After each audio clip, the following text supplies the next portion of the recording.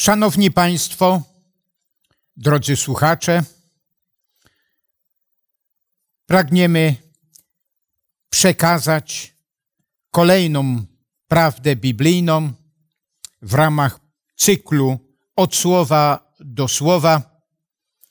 E, poruszamy różne zagadnienia biblijne, a dzisiaj chcemy mówić e, na temat wiary, która raz na zawsze została przekazana świętym. Myśl, y, która to podkreśla, znajduje się y, w liście Judy. Jest to jeden z najkrótszych listów, jakie znajdują się w Piśmie Świętym. Może niektóre psalmy są krótsze, ale natomiast rozdział najkrótszy. Ale to wcale nie oznacza, że jakaś głęboka, niezwykle głęboka treść nie została tutaj przekazana. W swoim czasie dwóch filozofów XIX-wiecznych na terenie Niemiec, e, Engels i Marx, Pewnie Państwo nie zgadzacie się z ich filozofią, ja też się nie zgadzam, ale jedna jest ciekawa rzecz. W pewnym momencie Engels napisał do Marksa długi list i przeprosił go za to, że napisał długi list, bo nie miał czasu napisać krótkiego. Dlatego też e, w liście Judy, w tym krótkim liście jest zawarta ogromna, ogromna treść. Nawet nie zdążymy tych wszystkich mm, myśli, mm, prawd, które są zawarte, nawet omówić, ale na niektóre zwrócimy uwagę. Przede wszystkim jest to list Judy, e, brata pańskiego, tam w liście do Galacjan w pierwszym rozdziale, dziewiętnastym wierszu jest powiedziane na temat Jakuba, e, że jest bratem pańskim, a tu jest podkreślone, że Juda jest bratem Jakuba. W jakim charakterze? Nie chciałbym tego jakoś obszernie omawiać. W jakim, w jakim charakterze są to bracia Jezusa Chrystusa? Możemy przeczytać e, z Ewangelii mm, Mateusza z rozdziału 13 mm, następujące słowa. E, o Jezusie Chrystusie, gdy przyszedł do swoich rodzinnych miejscowości. Czyż nie jest to syn cieśli? Czyż matce jego nie jest na imię Maria? A braciom jego Jakub, Józef, Szymon, Juda, a siostry jego, czyż nie są wszystkie u nas? Skąd ma to wszystko? A więc jest podkreślone, e, mm, wspomniani są bracia i siostry Jezusa Chrystusa. Nie chciałbym przy okazji obszernie jakoś tak formalnie czy teologicznie omawiać, w jakim charakterze e, ci bracia i siostry byli no, rodzeństwem Jezusa Chrystusa, jeżeli tak można e, powiedzieć. A więc ogromna treść, która znajduje się w tym liście Judy, Następna, następna księga w Nowym Testamencie jest księga Apokalipsa, niezwykle ważna, przeznaczona na czas końca, ogromne bogactwo. I list Judy jest takim uroczystym wprowadzeniem do księgi Apokalipsy. W rozdziale trzecim czytamy następujące słowa. Umiłowani, zabierając się z całą gorliwością do napisania do Was o naszym wspólnym zbawieniu. Chciałem to myśl podkreślić. Nasze wspólne zbawienie.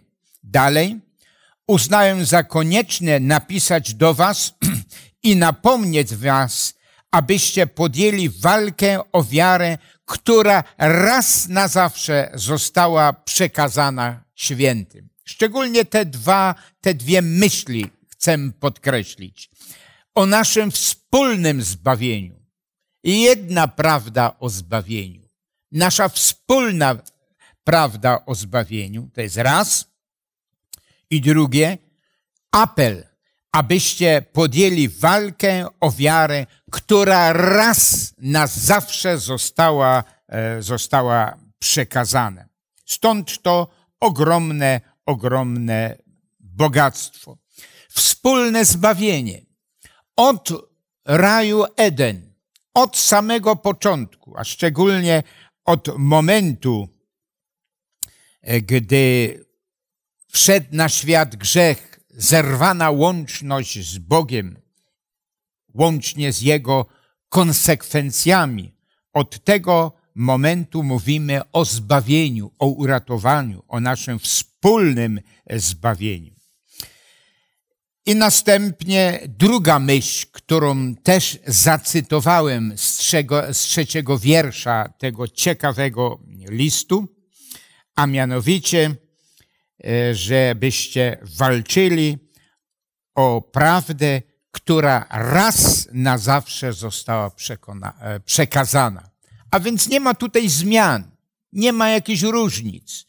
Nie ma raz w tym wieku było, była taka prawda, w innym wieku była inna prawda. Nieraz tak zastanawiam się nad tym, e, czy, albo też inaczej bym powiedział, ile obcych nauk zostało wprowadzone e, do chrześcijaństwa w ciągu wieków. Może nie do wszystkich, ale jednak no, ogromna ilość została, została wprowadzona. E, no i jest wielka potrzeba, aby oczyścić. E, czy dzieje chrześcijaństwa niektórych jego kręgów, i to bardzo licznych, nie są podobne do rzeki, która im dalej od źródła, tym więcej nieczystości płynie. Może to jest jakiś obraz chrześcijaństwa. Im dalej od źródła, od nauki Chrystusa, od nauki apostołów, tym więcej do chrześcijaństwa weszło różnych obcych nauk, mimo to, że brat pański Juda podkreślił, że to zbawienie jest wspólne, no i y, zaapelował też, aby przekazywać prawdę, która raz i trzymać tą prawdę, która raz na zawsze została przekazana. E, powrót do źródeł.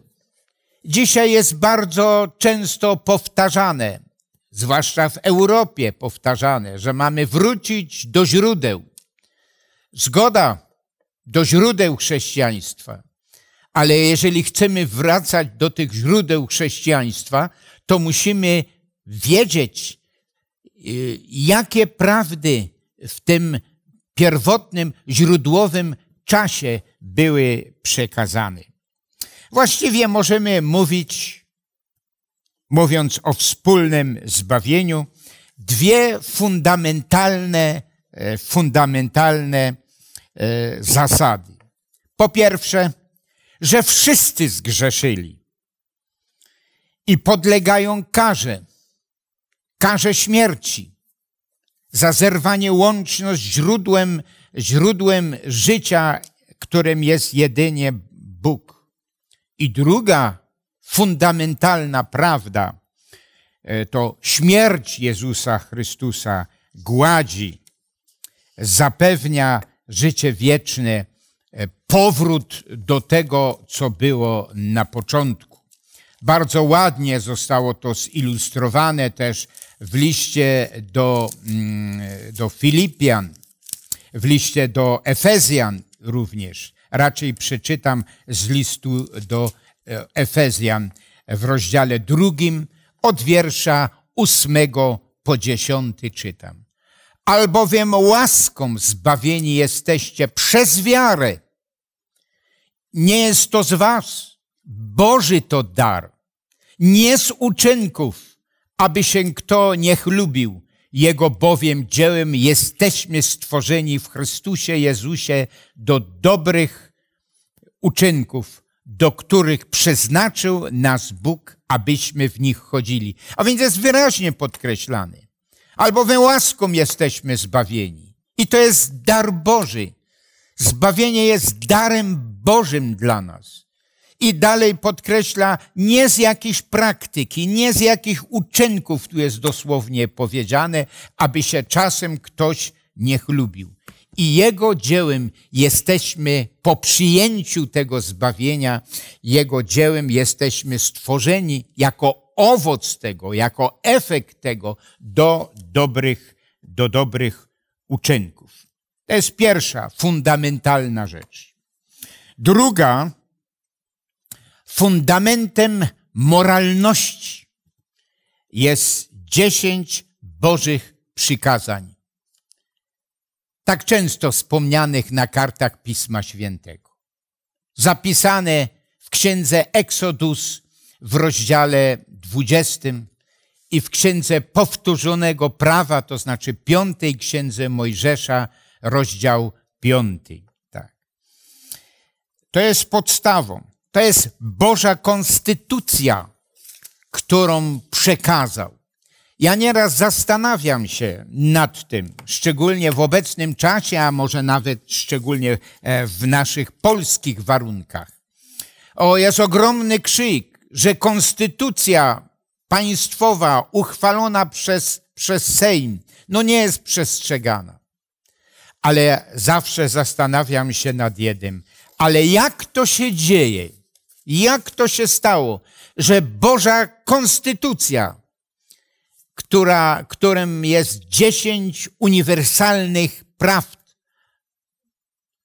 zapisanych w Piśmie Świętym, ogłoszonych przez Boga, E, dlaczego tak się dzieje, że nikt nie, nie, nie protestuje, nie krzyczy? Jeżeli konstytucja no, ludzka jest przestępowana, niedotrzymana, zmieniana, to dlaczego konstytucja Boża jest zmieniona?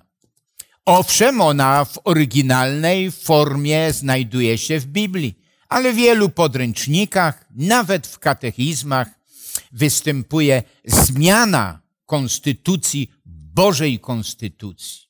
Drugie przykazanie usunięte, być może na, tym, na ten temat, na tym miejscu już mówiliśmy.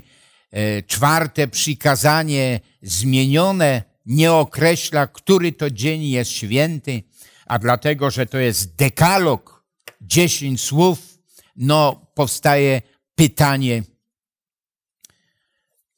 no jeżeli jedno przykazanie usunięte, inne zmienione, a to ma być dekalog. I dlatego też dziesiąte przykazanie w tej, z tej Bożej konstytucji zostało zmienione.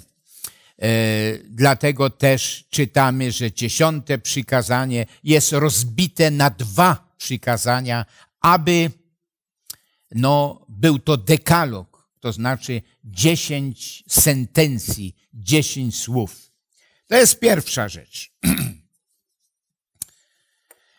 Kościoły, czy Kościół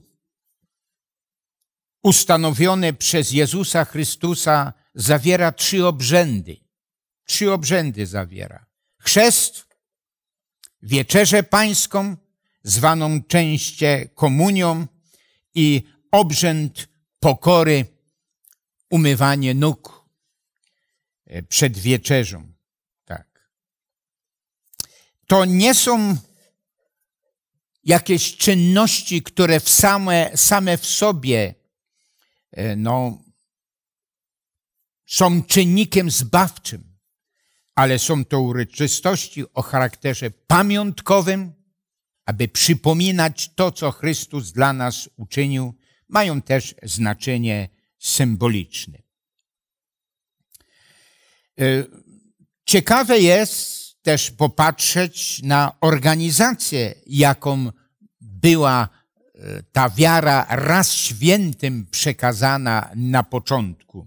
Organizacja skupiała się czy ograniczała się do prostych form w każdej, w każdym kościele, w każdej gminie chrześcijańskiej, bo tak to często jest słusznie nazywany, działali pastorzy, e, działali mm, diakoni, e, pełnili pewne funkcje, mogli się żenić, pełnili te funkcje z wyboru, nie z racji urodzenia albo jakiegoś in, innej przyczyny. przyczyny. Tak.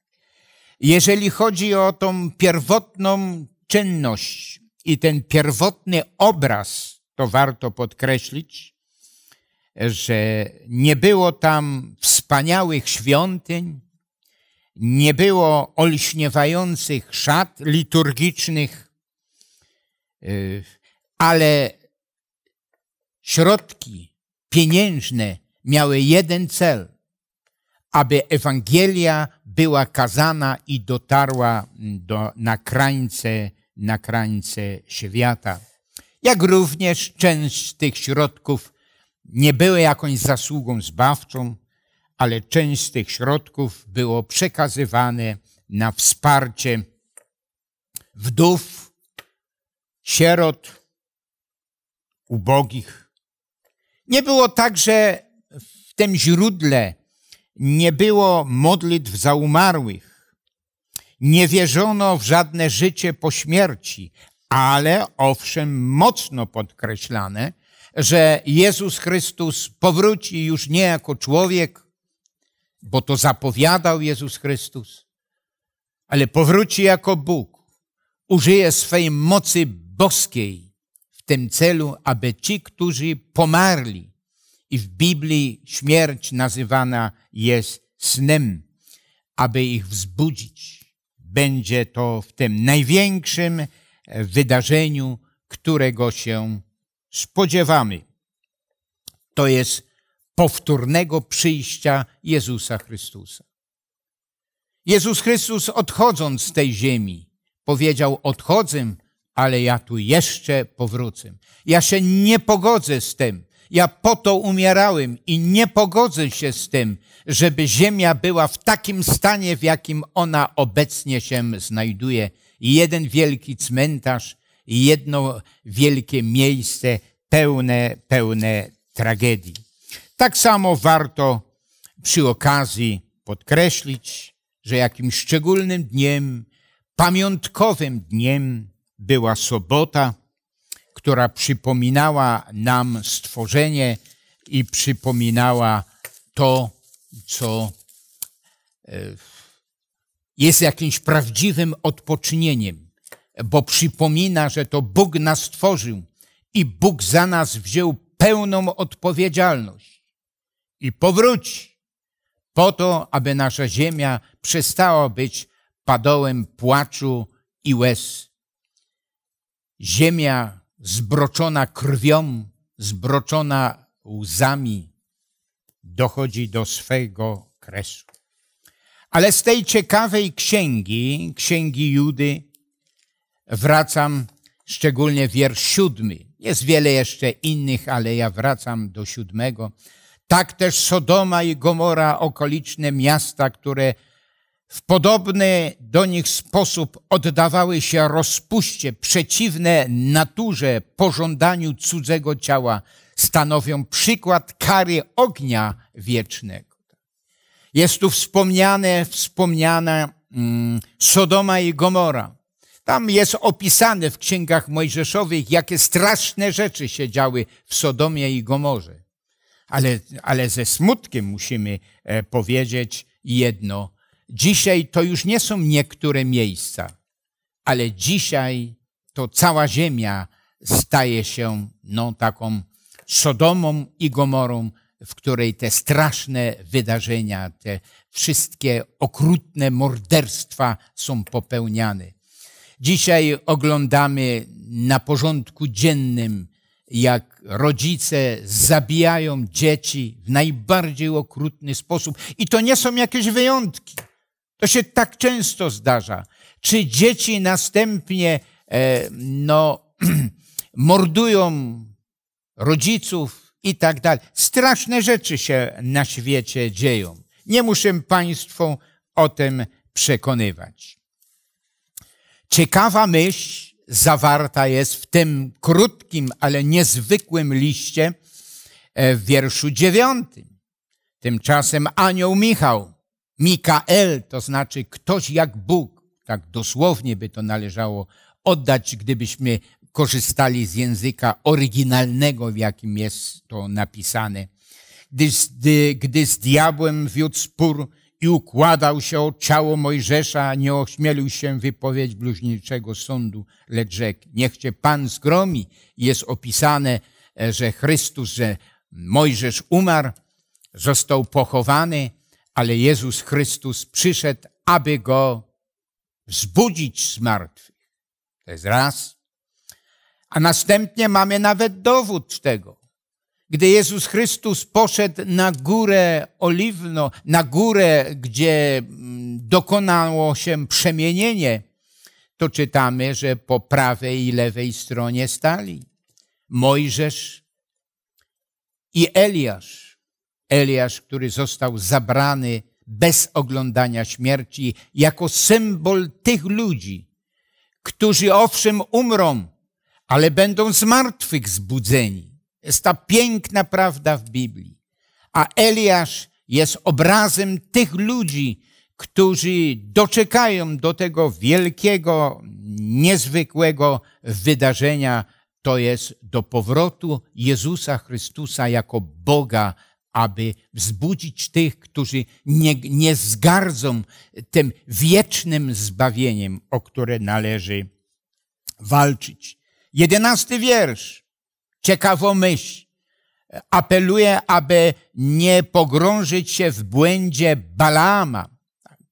Balam jest opisany w czwartej księdze Mojżesza, 31 rozdziale. To był ktoś, który znał prawdę. Tą prawdę raz świętym przekazaną, o, której, o którą należało walczyć. Ale dla osobistych korzyści, materialnych, popularności. Chociaż znał prawdę, to jednak nie mówił zgodnie z tą prawdą, która raz e, została przekazana.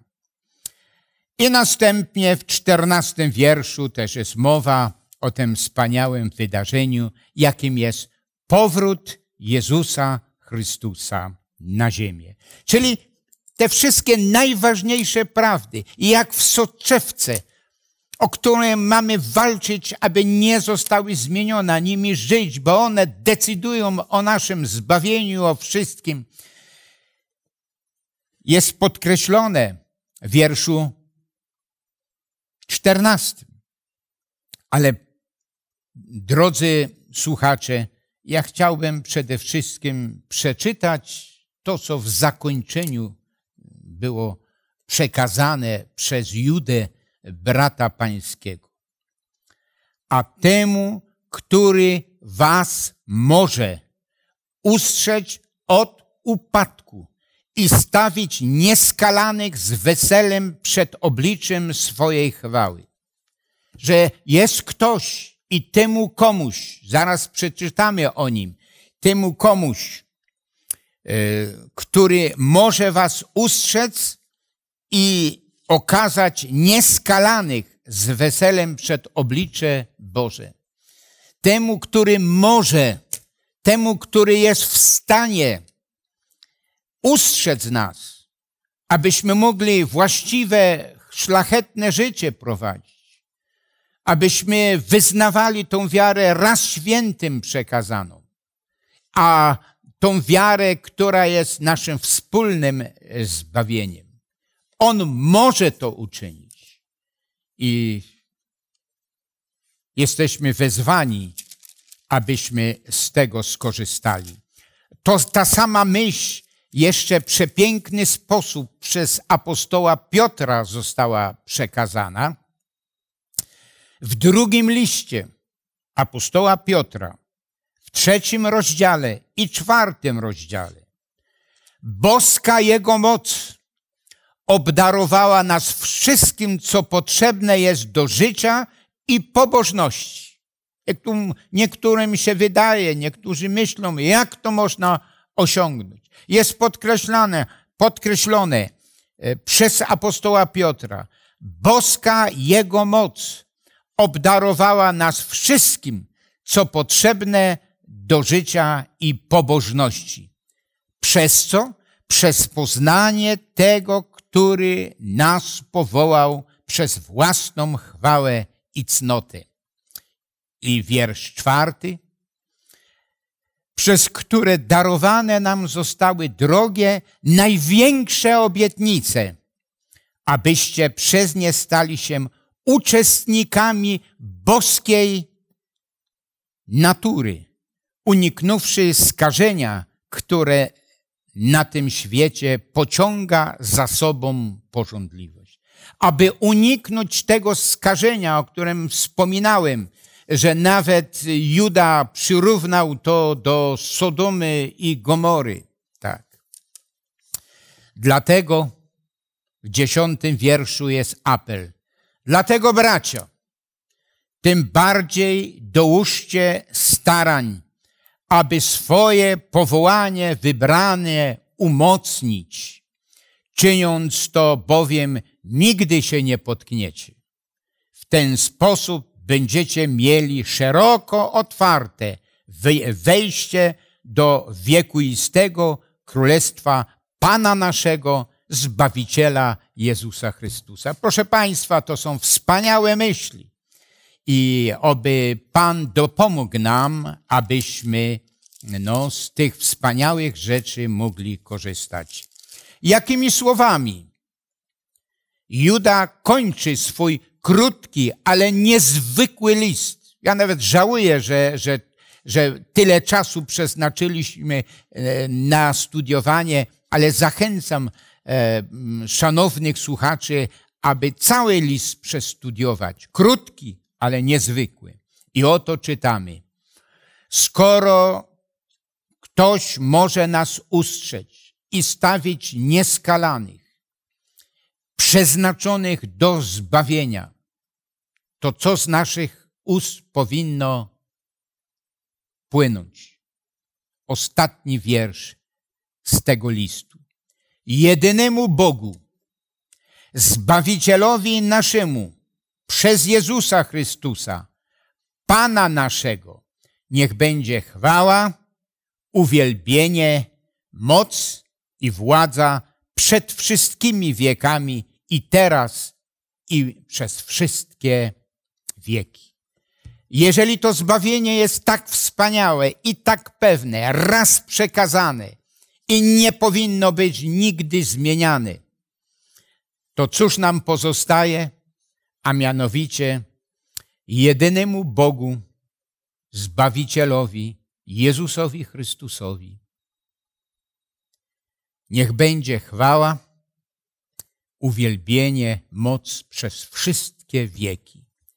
I właśnie tą myślą apostoła Judy, brata pańskiego, chciałbym zakończyć i zaapelować, abyśmy jedynemu Bogu oddawali chwałę, Jemu służyli i naprzód podążali.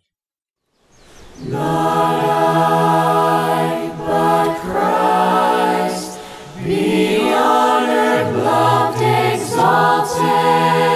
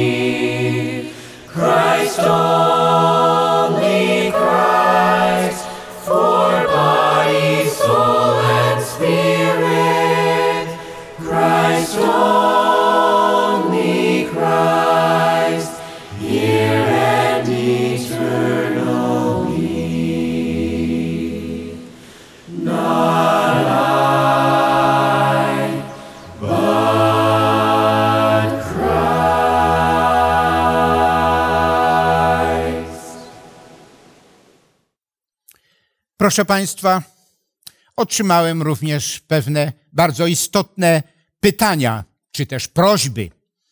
Pan Zbyszek e, prosi o modlitwę.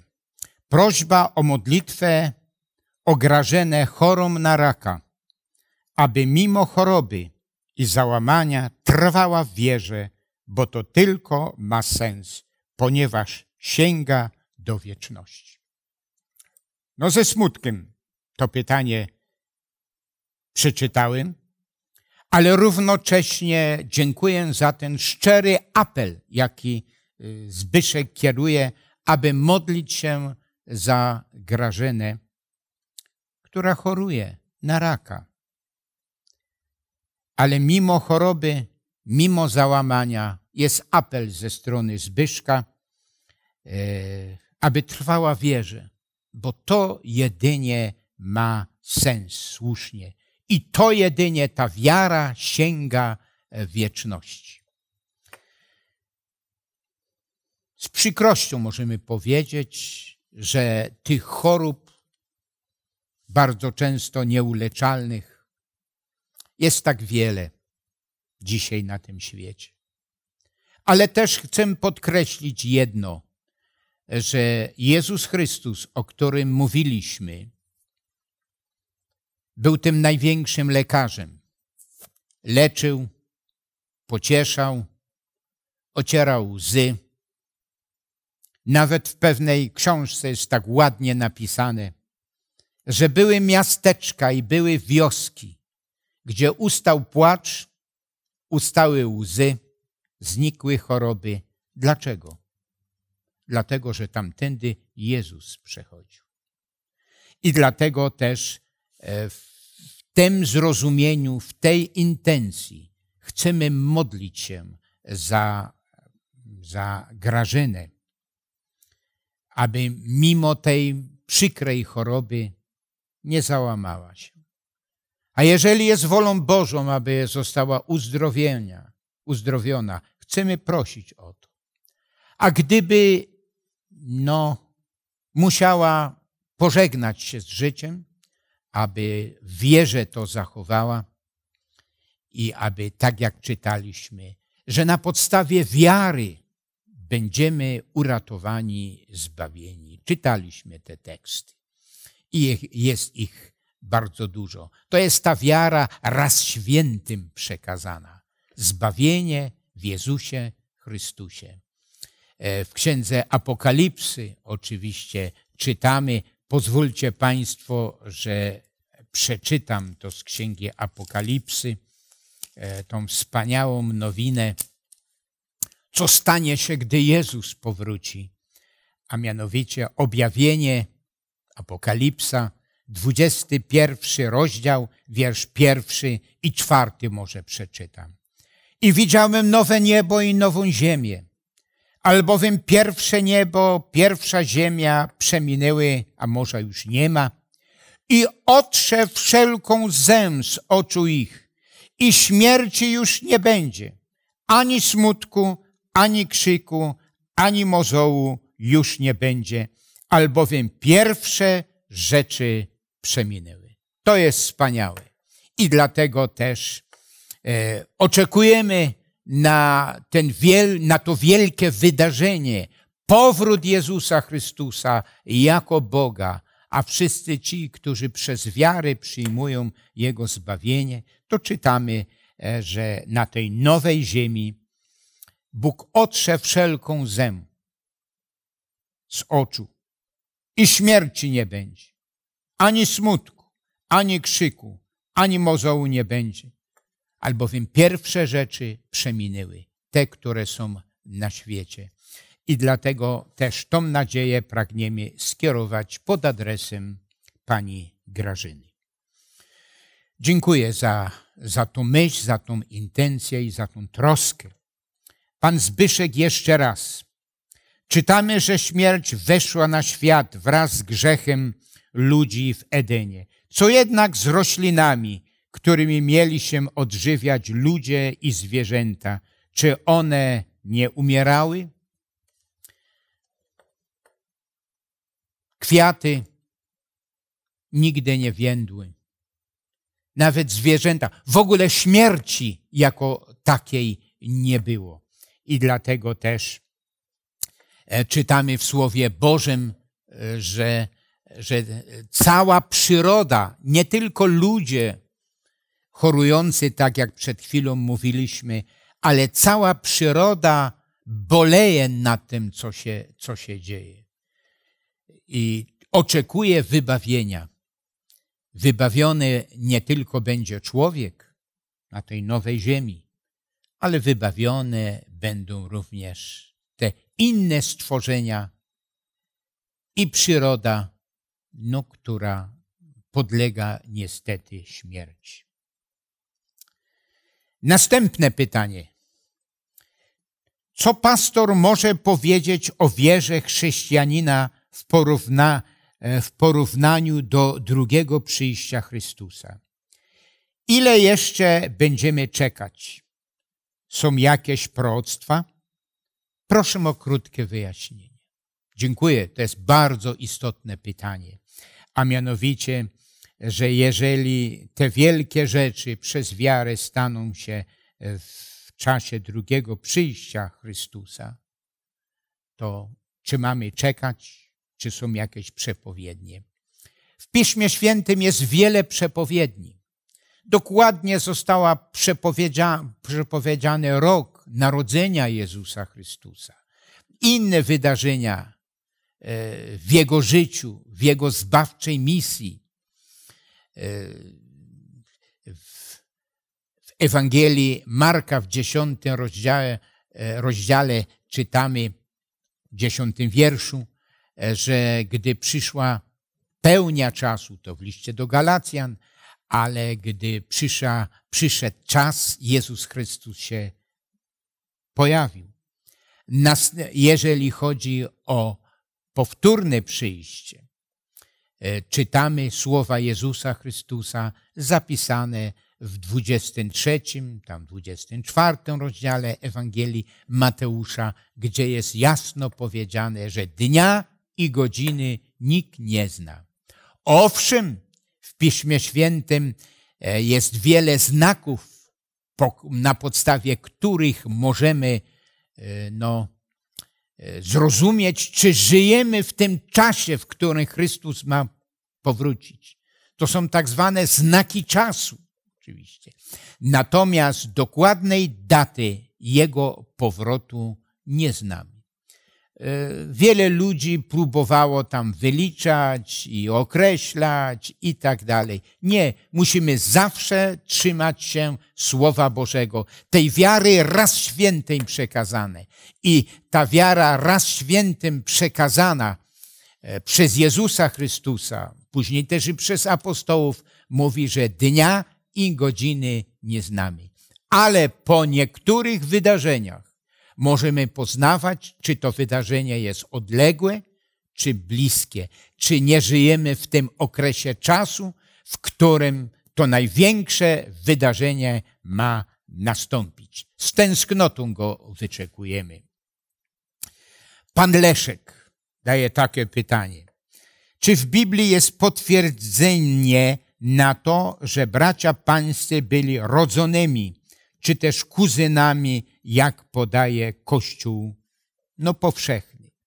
Proszę Państwa, no jest powiedziane, że, że byli bracia i siostry. Tak. Nie jest tutaj dokładnie określone, w jakim charakterze oni byli braćmi i siostrami. Nie dotyczy to na pewno no, kuzynostwa. Natomiast na podstawie pewnych faktów, no chociażby taki jeden wymieniam. W Ewangelii jest opisane, e, że bracia i siostry początkowo nie rozumieli misji Jezusa Chrystusa i e, strofowali go, upominali go, zanim nie zrozumieli dokładnie jego misji. W tamtejszej kulturze, proszę Państwa, no, nie było to możliwe, aby starsze rodzeństwo, starsi ludzie, e, którzy byli, albo odwrotnie powiem, aby młodszy no, w jakiś sposób upominał starszych. To starsi upominali tych młodszych. A czytamy, e, że ci bracia Jezusa upominali Jezusa Chrystusa. To może jeszcze jakieś inne fakty świadczą, że to prawdopodobnie było starsze rodzeństwo. Owszem, e, nie, nieurodzone przez nim z Marii, ale natomiast wszystko wskazuje na to, że Józef no, był tym, który, gdy zawarł małżeństwo e, z, z Marią, już miał dzieci z pierwszego małżeństwa, która prawdopodobnie zmarła. Byli bracia i siostry. Ale najważniejsze, proszę Państwa, to nie jest rozważanie, w jakim charakterze oni byli braćmi i siostrami, ale najważniejsze, że przyjęli Chrystusa jako Zbawiciela i pisali takie piękne listy, chociażby jeden z nich dzisiaj studiowaliśmy. Treść jest ważna, a nie jakieś formalne rzeczy. Dziękuję bardzo. E, pan Zbyszek jeszcze raz prosi o doprecyzowanie. Pastorze, ale zjedzona roślina chyba nie będzie żyła w żołądku Adama i w, w Edenie. Jak rozumieć rolę roślin? Czy mają duszę, czy też są pokarmem bez odczuć wyższych?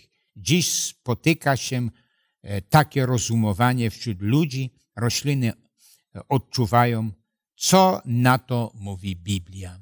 Owszem, rośliny nie mają ani duszy, ani też to wszystko, co tu jest podkreślone, ale gdy czytamy pierwszy rozdział drugi rozdział, a szczególnie pierwszy, to jest powiedziane, że rośliny, owoce były no, tym pierwotnym, najlepszym pokarmem dla człowieka. No nie tylko dla, dla człowieka oczywiście, ale to nie znaczy, że przy, po spożywaniu tych owoców, tej roślinności, że te w dalszym ciągu żyły.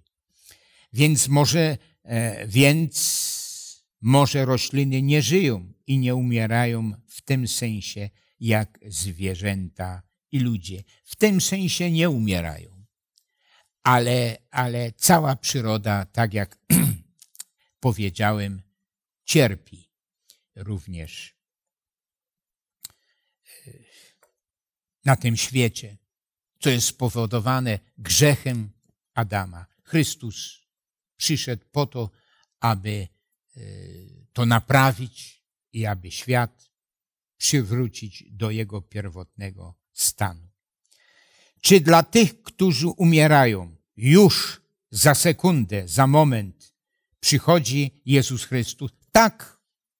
Dlatego jest powiedziane, że gdy umierają ludzie, to śmierć jest w Biblii określana jako sen, nieświadomy sen. Tam między innymi w Ewangelii Jana jest opisane, że w pewnym momencie w pewnym momencie jego przyjaciel Łazarz zmarł. No i Jezus Chrystus powiedział, Łazarz zasnął. No, uczniowie tak no, rozumieli. Jeżeli zasnął, no to będzie zdrów. Odpocznie i będzie zdrów. I Jezus Chrystus powiedział, Łazarz umarł. Czyli Pismo Święte, Jezus Chrystus. I w wielu innych miejscach jest to podkreślone. Śmierć jest przedstawiona jako sen.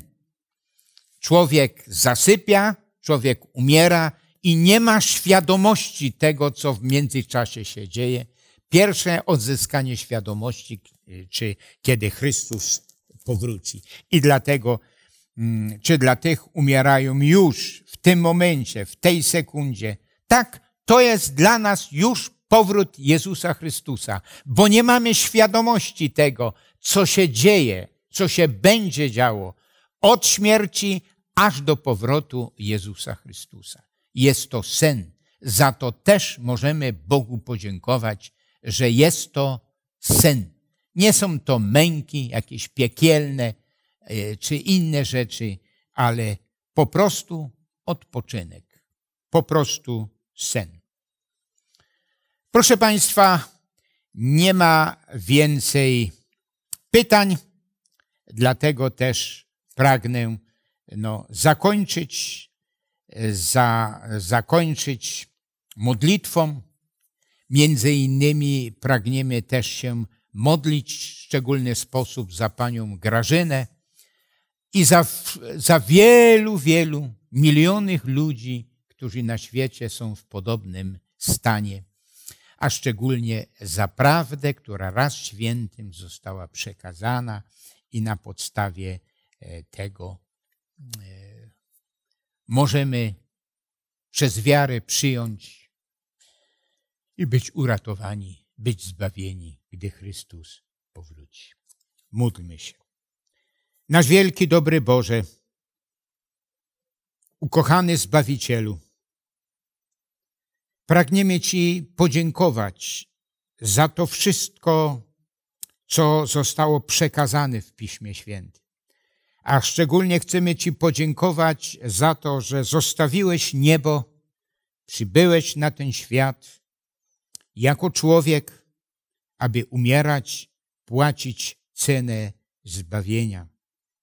Ale szczególnie chcemy też podziękować, nasz drogi Zbawco, że pragniesz uczynić wszystko, abyśmy to zbawienie mogli przyjąć. Szczególnie w tej chwili wspominamy panią Grażynę, która przeżywa ten problem, przeżywa okrutną chorobę, niewdzięczną chorobę. I dlatego prosimy, Wielki Boże, jeżeli to jest Twoją wolą, uzdrów ją, aby mogła jeszcze żyć, cieszyć się społecznością innych ludzi, może rodziny, może dzieci. Ale nade wszystko prosimy, Wielki Boże, obdasz, wzmocnij ją wiarę, aby w tej wierze trwała, a gdyby nawet przyszło jej pożegnać się, aby w tej wierze pożegnała się z życiem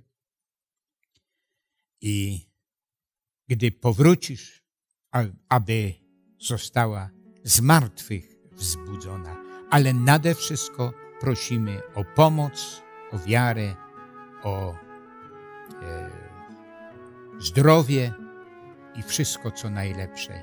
Nie tylko dla niej, ale dla tych wszystkich, którzy szczególnie są w podobnym stanie, a szczególnie też proszę o błogosławieństwo dla miłych Państwa, którzy wysłuchali tego programu. Niech imię Boga będzie uwielbione, a nasza wiara niech będzie zbudowana. Amen.